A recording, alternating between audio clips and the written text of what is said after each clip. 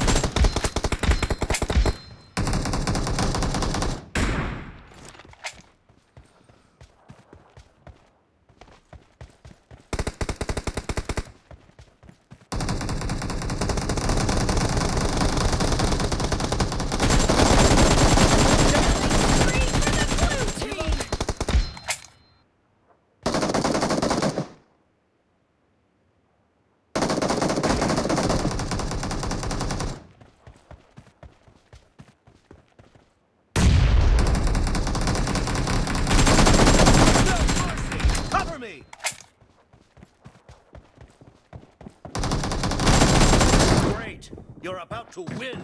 The blue team is about to win.